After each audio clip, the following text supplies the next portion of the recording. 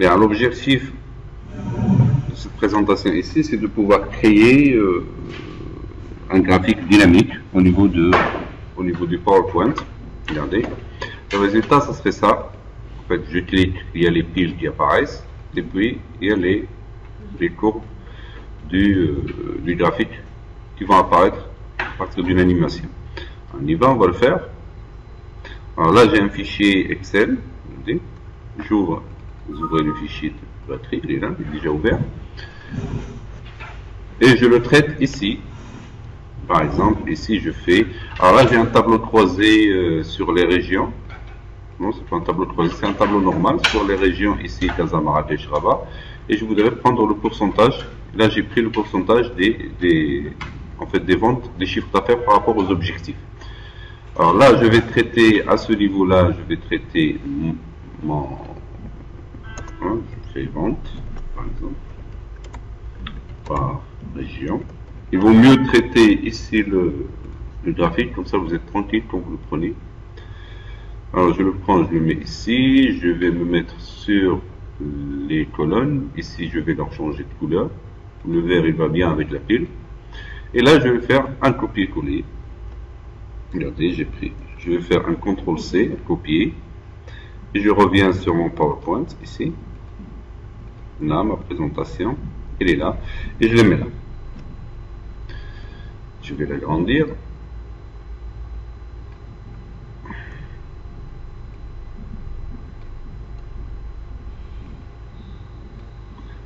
Voilà. Ici, voilà. Alors je le laisse tranquille et je crée une nouvelle diapositive pour, sur laquelle je vais travailler ma pile. Alors si vous voyez ici, je, vous ai fait un, un aide-mémoire au niveau de la création de la pile, ici. Alors ça, c'est un disque. En fait, c'est un cercle. Ça aussi, c'est un cercle et on a travaillé sur le format 3D. Regardez. Alors on insère le, le, le, cercle, on va le faire. Je vais supprimer ça. On va insérer une forme cercle. Là, doté. Il est là, tranquille. Je vais l'agrandir un peu. Je vais aller sur format pour avoir le même rapport hauteur-largeur. Je fais 2 plus 5 ici. Voilà. Et je fais dans format, forme, remplissage. Regardez. Je fais format de la forme, ici. Et l'ordre, il n'est pas important. Hein, pour les... Je fais remplissage ici. Remplissage uni. Et je choisis la couleur, par exemple. Et ce qui est intéressant ici, c'est que je vais choisir, par exemple, la couleur, euh, la couleur grise. Là.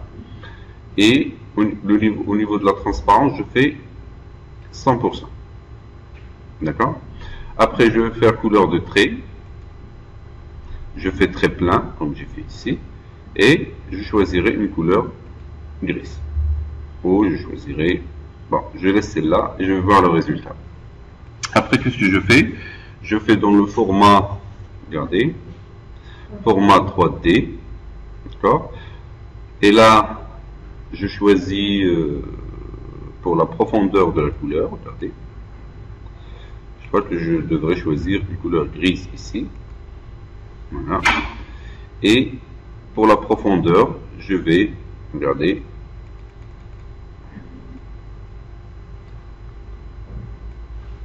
je vais choisir, moi je vais faire vite, euh, je vais faire 200 30 points. Voilà. Et je choisis le mode cercle, à mon avis, et pour la couleur grise.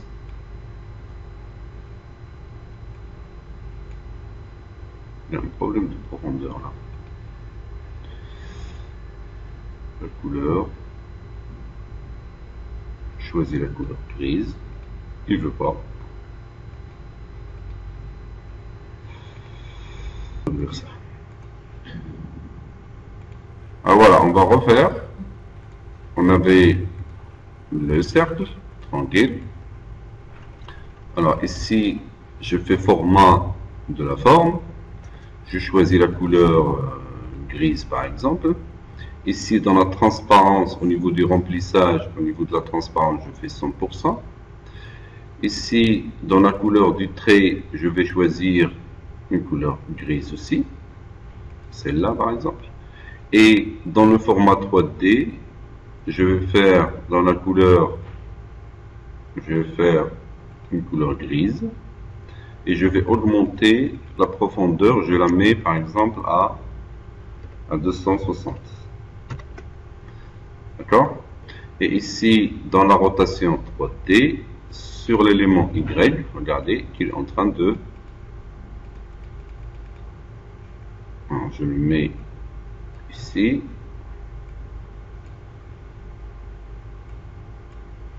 Voilà. Je vais le diminuer un peu avoir cette air-là. Voilà. Et après, je vais aller sur format et je vais augmenter la largeur. Maintenant, il me reste la petite transparence ici. Je vais faire remplissage. Je choisirai une couleur moins forte ici. Et dans la couleur du trait, je vais choisir une couleur moins forte. Je vais voir pour la transparence? Alors, remarquez la transparence ici, il agit à ce niveau-là.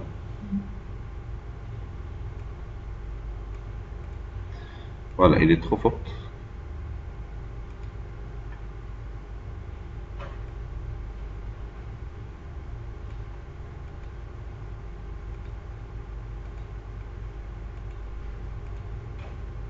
Mhm.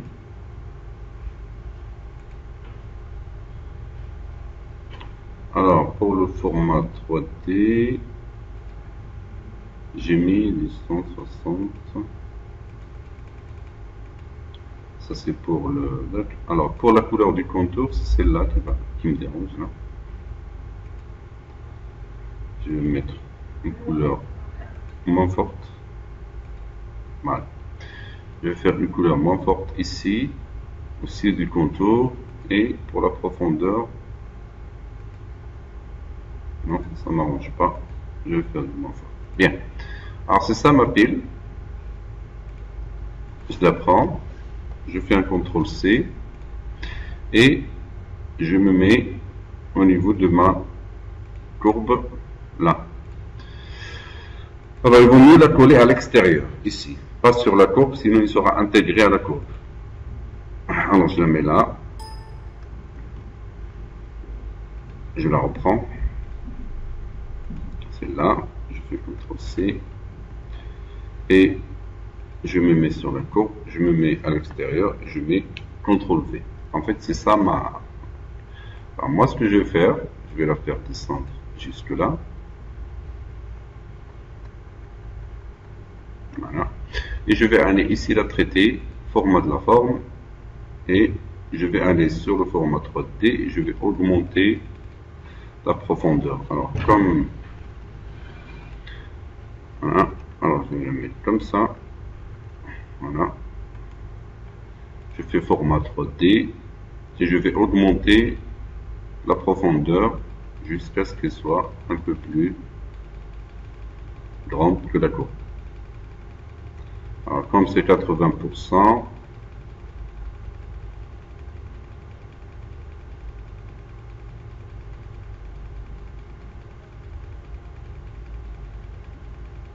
voilà, ça me Je vais prendre cette, cet objet-là et je le mets au-dessus de celui-là. J'espère qu'il va le déplacer. Voilà un peu. Et je vais aller sur le format et je vais augmenter encore la largeur. Je vais la faire descendre. Voilà. Ici, si je veux voir ce qu'il y a derrière, c'est que je vais faire touche droite et je vais faire mettre à l'arrière-plan. Et là, vous avez, vous avez la, petite pile. Je vais alors, je vais annuler pour que je puisse agir sur ça. Et je vais augmenter encore la largeur. Voilà. Et je la déplace un peu. Je vais voir ce que ça donne, mettre en dernier plan. en arrière-plan. Là, c'est pas équilibré. Je reviens et je vais le faire bouger avec contrôle, touche droite, mettre en arrière-plan. Et là, c'est ma, pile. Après, ce que je vais faire, je vais revenir sur ça. Ça, c'est juste. Je vais faire un copier-coller. Il faut que j'ai la même taille pour les piles. CTRL C. Et je me mets à l'extérieur toujours. Si vous le mettez ici, il va l'intégrer. Vous mettez à l'extérieur et vous faites OK. Alors, ce que je fais moi, c'est que j'arrange au niveau de la hauteur et je la mets. Allez. 1, 2. CTRL V. Je m'arrange.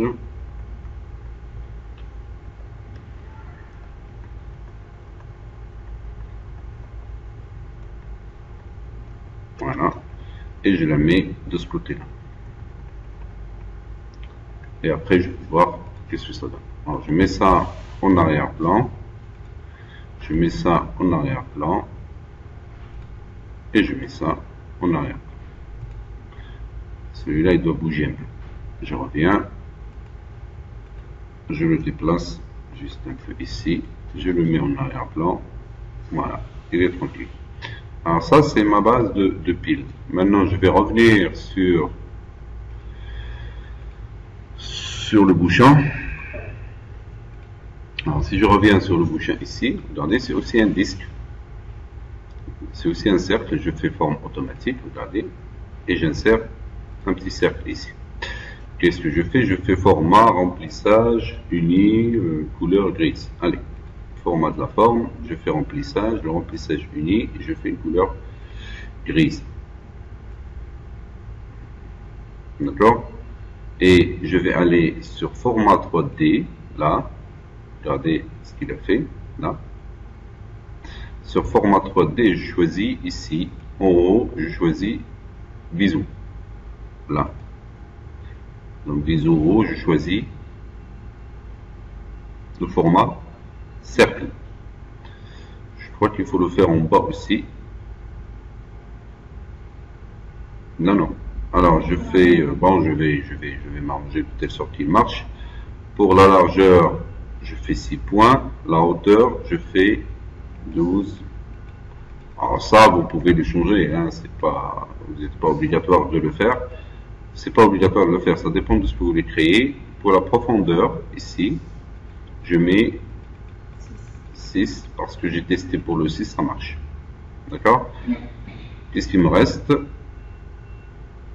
Je mets 6 points, la couleur gris, euh, et puis euh, voilà, je fais la couleur euh, contour. Pour la contour, je choisirai la couleur grise et je fais un point. Qu'est-ce qu'il me reste?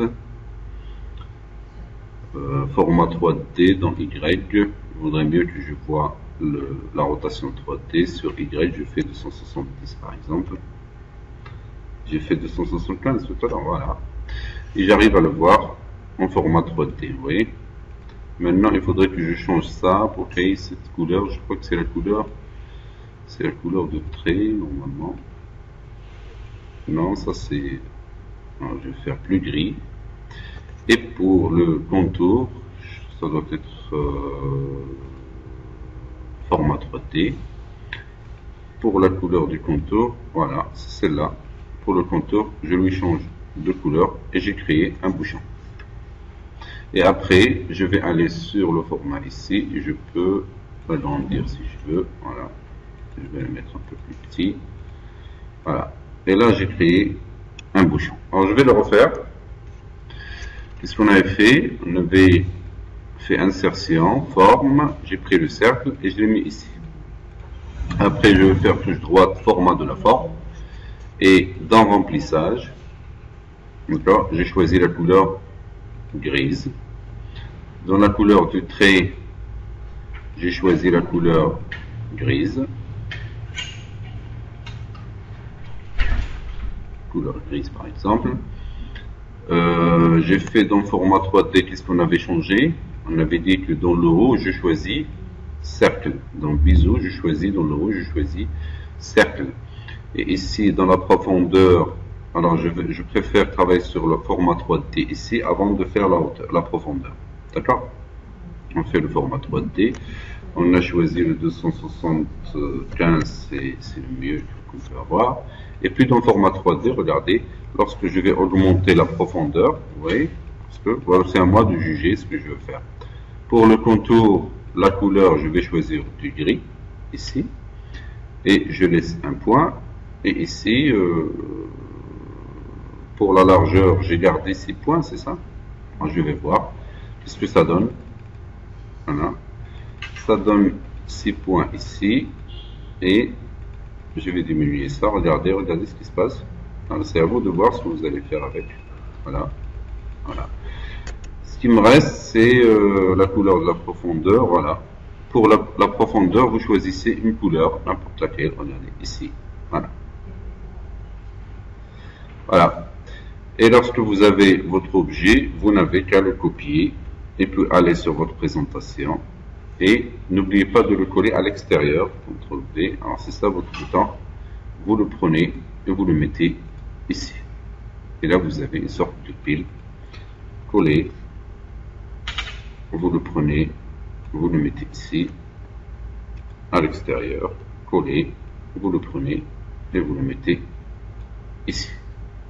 je vous laisse le temps de faire ça et puis on va voir les animations. Alors, on continue. Maintenant, il me faut l'animation. Regardez, je vais mettre ça en premier plan. Et je vais travailler sur mes graphiques ici. Alors, qu'est-ce que je fais? Si je veux, au niveau de mes, euh, ici au niveau de mes colonnes, je vais faire animation et je vais choisir une animation qui est correcte quand même. Laquelle m'arrangerait? Euh, Celle-là, voilà. Je prends celle-là, balayer regardez. Et lorsque je vais exécuter, normalement, il doit apparaître comme ça. Et moi, ce que je veux, c'est que les piles apparaissent en premier lieu, et puis les courbes apparaissent en deuxième lieu. Maintenant, je vais prendre ce graphique-là et je vais le mettre en arrière-plan. Voilà. Et je vais prendre cette courbe-là, euh, cette pile, je fais contrôle, je choisis cette... Euh, voilà, voilà. Et j'applique une animation. Ici, j'applique une animation. Euh, voilà. Comme ça. Après, bon, je vais voir qu'est-ce que ça donne. Je clique. Normalement, c'est les piles qui doivent apparaître en premier. Très bien. Et euh, voilà, pour régler ce problème, qu'est-ce que je fais? Je fais volet animation. Et là, remarquez que ici, là et là, tout ça c'est le 2. Donc, je vais faire un shift de là à là. Et je vais essayer de le déplacer. Ou je prends celui-là? Voilà. Je déplace, je déplace, je déplace, je déplace. Et je le mets en dernier. Je vois qu'est-ce que ça donne? Ça donne ça, puis ça. Ça marche. Maintenant, qu'est-ce que je vais faire? Je vais prendre ce graphique-là et je vais le mettre en, c'est ça, en premier plan. Voilà, mettre en premier plan. Voilà. J'exécute, j'ai les piles qui apparaissent et puis ça qui apparaît.